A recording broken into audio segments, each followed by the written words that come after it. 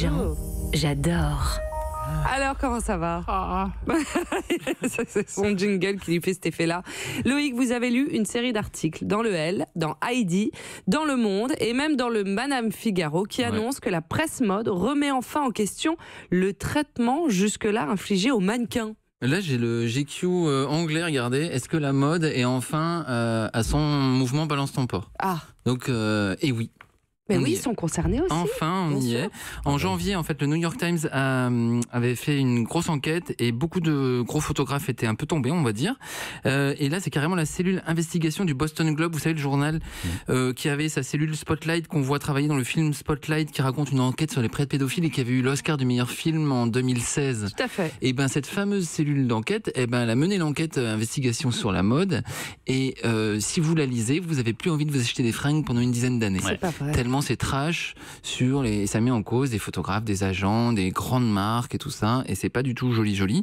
Et euh, donc la, la mode se est en train de peut-être se remettre en question. D'accord, extraordinaire. Euh, donc elle se ressaisit, mais comment? Alors ben, elle se ressaisit, oui et non et oui. Comme d'habitude, vous connaissez la mode en fait. Ça fait des années qu'on dit que les mannequins qui défilent sur les podiums sont manifestement trop maigres, mais personne ne faisait rien. Ouais. Ah, on disait ah ils sont trop maigres. Bah oui. Et il se passait Et rien du tout. rien. Et, euh, et la, la Paris, en plus, c'était la pire ville pour ça. Donc les mannequins m'ont expliqué, je savais même pas que ça existait. Il y a le Paris Thin. Ça veut dire Donc quoi ça veut dire le, le- la minceur Paris. Ça veut dire que vous pouvez cartonner à Milan, New York, machin, mais si vous n'avez pas la mi- minceur Paris, ce Vous qui veut dire une maigreur en fait, vous ne horreur. marcherez pas, enfin votre carrière ne décollera pas à Paris. Donc on demandait aux filles d'atteindre le Paris Thin, donc une maigreur euh, spécifique et tout ça. Donc là, il y a eu une réaction. Il y a réaction enfin et euh, maintenant non, on- il y a des visites médicales à Voilà. Paris, on vérifie l'indice de masse corporelle des, des jeunes filles et on impose aux trop maigres de reprendre du poids, on, le- on leur interdit de défiler. Si elles D'accord. sont trop maigres et tout ça. Donc, euh, mais il y a encore eu un autre scandale, euh, autre que harcèlement sexuel, autre que malnutrition. C'est un scandale de maltraitance qui a un peu fait bouger les choses. De quel scandale de maltraitance? Vous savez, c'est le casting où il y a des filles qui sont mises dans un escalier, qui ont été mises dans un escalier. Oui. La minutrice est arrêtée. C'était dimanche, la, la minutrice n'est pas rallumée. Et la fille qui a organisé le casting est partie. C'est-à-dire que. Oui. Et donc, il y, a- il y a une centaine de jeunes filles, je sais pas combien, qui sont retrouvées dans un escalier, dans, Dans le le noir, noir. sans eau, sans nourriture, et sans personne pour leur dire quand elles allaient en sortir. Parce que c'était coincé en plus. C'était en 2017. C'était l'année dernière. Et, euh, et suite à ça, Kering et LVMH, les deux groupes de luxe concurrents, se sont enfin alliés pour faire une charte de traitement, de bon traitement des mannequins et tout ça. Donc Hey. maintenant, c'est vraiment surveillé. Il y a des chaperons si vous avez 16 ans. On vous donne à boire, on vous donne à manger. On- il y a même une cellule psychologique, un téléphone qu'elles peuvent appeler. Bon, a ça commence ça. à bouger. Est-ce que ça va être appliqué? Je demande à voir.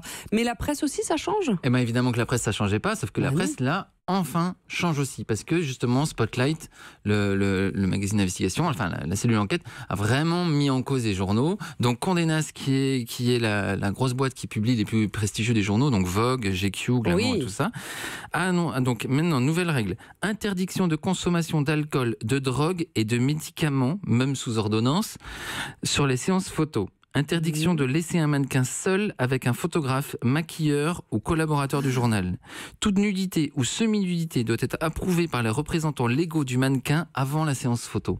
Bien. Ce qui est assez fou, c'est que c'était pas le cas avant. Mais, Mais pas du tout. euh, gros papier dans le GQ anglais, donc que je vous montrais euh, tout à l'heure, là, le GQ anglais de ce mois-ci, avec un top modèle masculin, David Gandhi, qui déclare que le mannequinat devrait être interdit non pas avant 16 ans, même pas avant 18 ans, mais carrément 21 Ah. ans, parce qu'avant cet âge, selon lui, on n'est pas équipé pour faire le grand circuit des capitales de la mode avec leurs fêtes, leurs tentations et leurs habitudes de folie furieuse. Ouais, ouais, c'est pas, pas mal comme réflexion. Peut-être.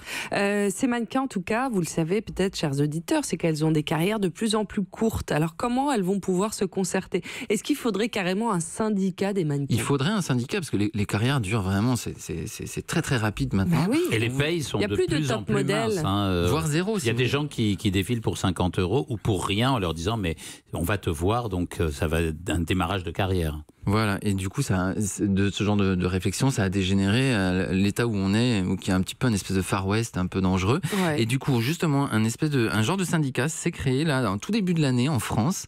Ça s'appelle The Model Law, la loi mannequin. C'est animé par deux mannequins, Gwenola Guichard et Ekaterina Ozigoganova. Et elle milite pour qu'on révise sérieusement, enfin, la façon dont les mannequins sont payés, puisque par exemple, elle ne touche à peine que 30% des cachets Mais non qu'elle euh, gagne. Ouais. Hmm. Parce que les agences Ouais. comptabilisent les frais cachés qui font que les mannequins peuvent se retrouver endettés et donc forcés de continuer ou d'accepter des jobs. En gros, et elle demande de la, régularisation. de la régulation. 70% sur le cachet, Ouais. les agences de mannequins. Ouais. Oui, elles peuvent finir une Fashion Week et aller voir leur agence et leur agence leur dit bah, tu nous dois 2500 euros. Voilà. C'est fou cette histoire. Donc régulation, donc, donc The Model Law est en train de vraiment faire pression pour que on, on mette un peu de l'ordre dans tout ça. c'est ça, très bien. intéressant. Mais c'est très bien, c'est positif en espérant que ça continue.